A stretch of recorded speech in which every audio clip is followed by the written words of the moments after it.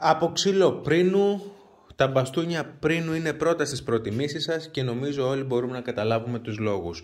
Πανέμορφο, ιδιαίτερο, μοναδικό τεμάχιο, ξαναφεύγω λίγο πιο πίσω για να το δείτε ολόκληρο. 1,32 το ύψος του, 450 γραμμάρια το βάρος του και 6 εκατοστά η περίμετρος του ξύλου. Δείτε εδώ τι όμορφες φυσικές καμπύλες έχει.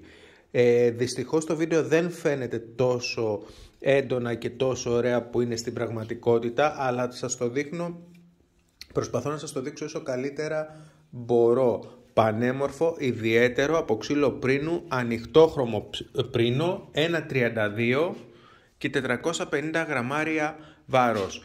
Πάμε να δούμε λίγο την κούρπα από μέσα. Ωραία. Και από την άλλη πλευρά.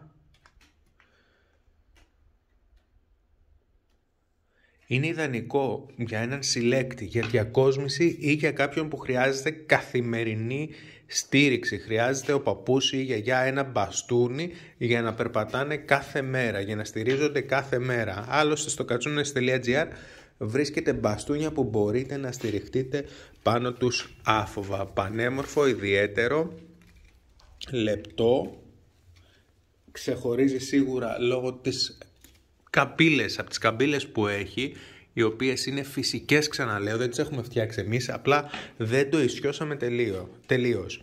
Διαθέσιμο από τώρα στο κατσούνες.gr όπου μπορεί να γίνει δικό σας εύκολα και γρήγορα αγοράζοντάς το online. Αν πάλι ζορίζεστε μπορείτε να βρείτε τρόπους επικοινωνίας και να έρθετε σε επαφή μαζί μας έτσι ώστε να σας το στείλουμε εμείς. Μπορείτε να πληρώσετε είτε μέσω τραπέζης, μέσω κάρτας, μέσω PayPal, μέσω αντικαταβολής, όπως εσείς αισθάνεστε ουσιαστικά πιο ασφαλείς. Μην ξεχάσετε να κάνετε την εγγραφή σας βέβαια στο κανάλι μας στο YouTube για να βλέπετε τα βιντεάκια τα ωραία τα οποία ετοιμάζουμε και ανεβάζουμε για σας.